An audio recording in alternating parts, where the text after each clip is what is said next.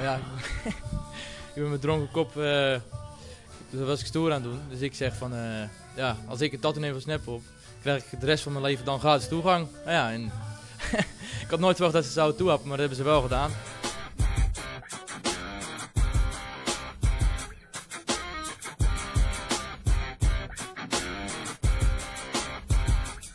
Ja, hij weet het nog niet, maar die deal gaat natuurlijk niet door.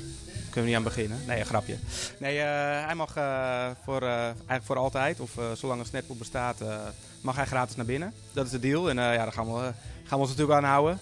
En eh, ja, we vinden het super, eh, super gave actie en super gaaf dat hij het eh, doorzet.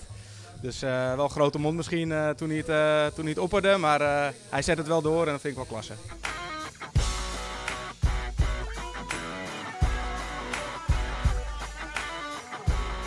Snapop is voor mij het festival, jaarlijks festival. Voor een ander, ja, die gaat naar de Pinkpop, ik ga naar Snapop. Tevreden, Henk? Jasper moet tevreden zijn, toch? Wat vind je ervan? Gaaf. Mooi.